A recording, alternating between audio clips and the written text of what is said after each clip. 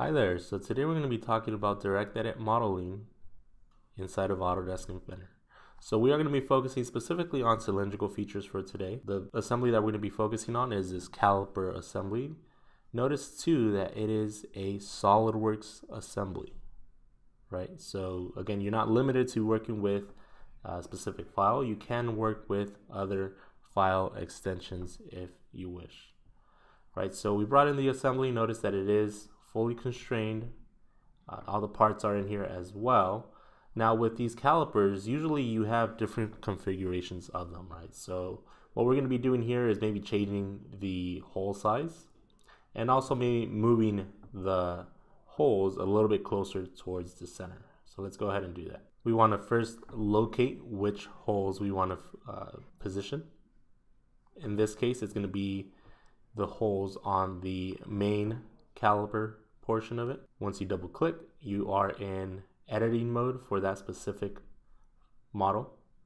And if you look under modify, you see that you will have the command to direct edit, right? So select which face you want to modify.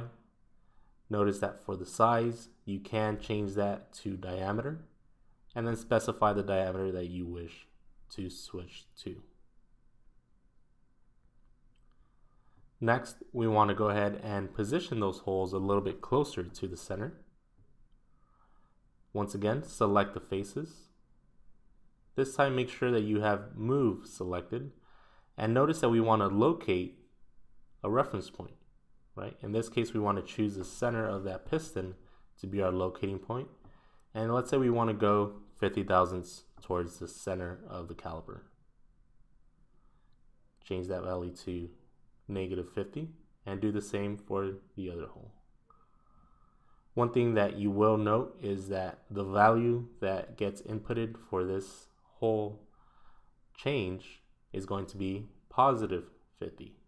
Right? So reason for that, the arrow is pointing to the left, therefore the value is a positive number.